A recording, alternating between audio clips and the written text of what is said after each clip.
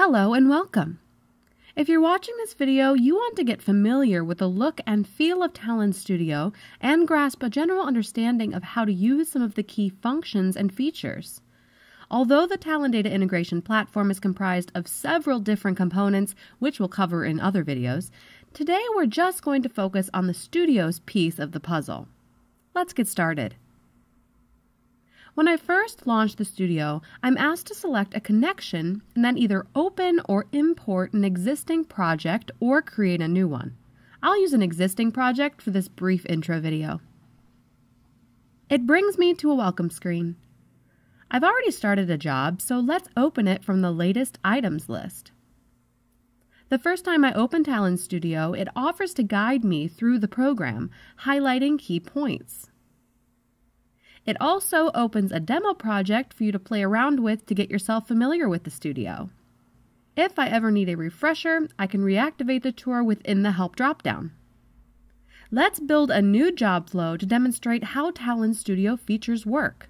Let's first take a look at the repository, where Talend Studio gathers data related to the technical items used to design jobs. It's here I can manage metadata, database connections, database tables, as well as columns, and jobs once I begin creating them. I've already brought in my source component metadata by dragging and dropping it into my design workspace in the middle here. The design workspace is where I lay out and design my jobs.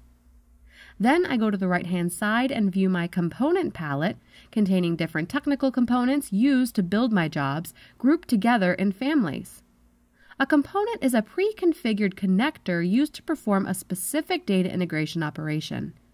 I can minimize the amounts of hand coding required to work on data from multiple sources. If I drill down, I can see all of the different connections to databases and applications. We will discuss these in further detail in later videos. Let's bring this Salesforce output component into the palette to create a target for my source content. Now I would need to connect these two components using something like a T-map, giving me the ability to map attributes between the source and the target. Click on the source, drag and drop, and connect to the T-map.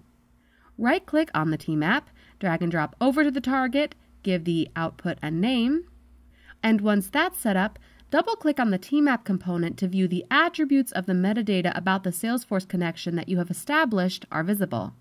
Drag these attributes from the source on the left to make the connections. I now have a functioning process or job within the design window. View job details within the configuration tabs, which we will dive deeper into in later videos. Thank you for watching this video covering a brief overview of the studio.